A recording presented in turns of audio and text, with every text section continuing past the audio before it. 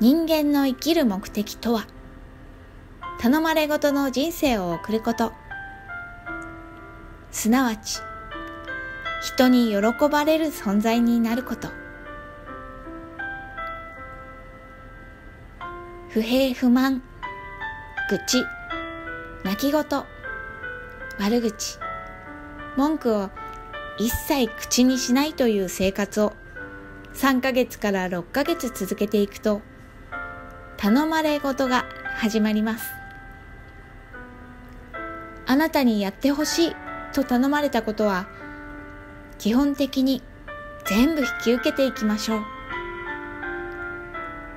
ただし単なる頭数合わせのための誘いやすでに先約がある場合は断っても構いません。頼まれ事が始まったらただひたすらやっていくのが頼まれ事の人生です。そのように生きていると自分がある方向のもとに使われていることに気がつきます。それが使われる命使命天命というものです。使われるという言葉は真ん中に和の字があります。これは宇宙からの要請に応えて宇宙と和すること。宇宙と和することが使われることであるのでしょ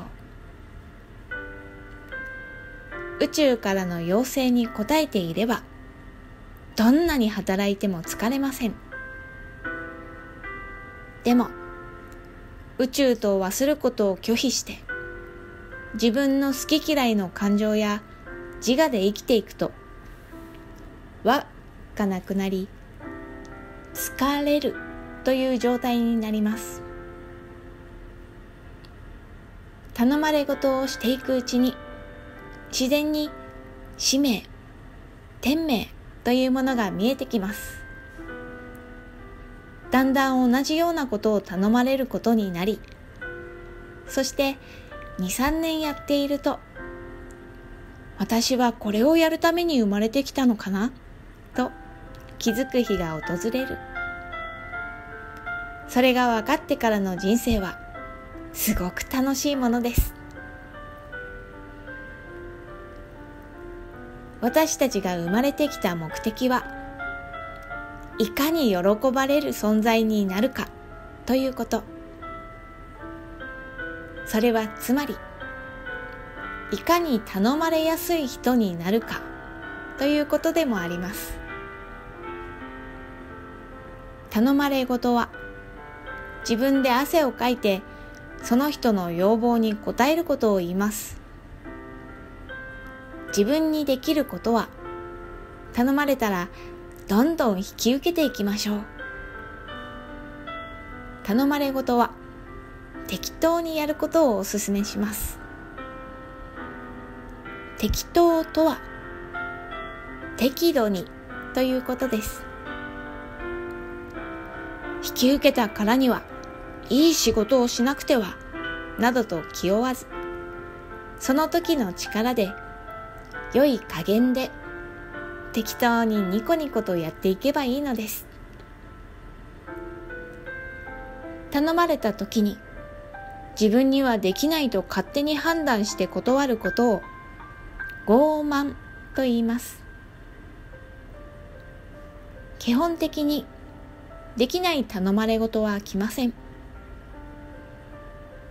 しかし自分の中にできないことでも何でも引き受けてやるぞ。という気迫があるとできないことまでも持ち込んでしまい行き詰まるかもしれません。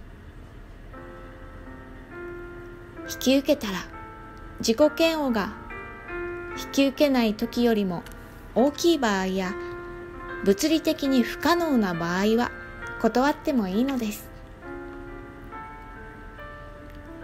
不平や文句ばかり言っていたり笑顔も見せず眉間にシワを寄せていたりすると人から頼まれにくくなります。頼んだことを気持ちよくやってくれるからあの人にまた頼もうと思われたとしたら喜ばれる存在として一つ実践できたことになるのではないでしょうか。人間の生きる目的とは頑張ることや努力すること何かを成し遂げることではありません。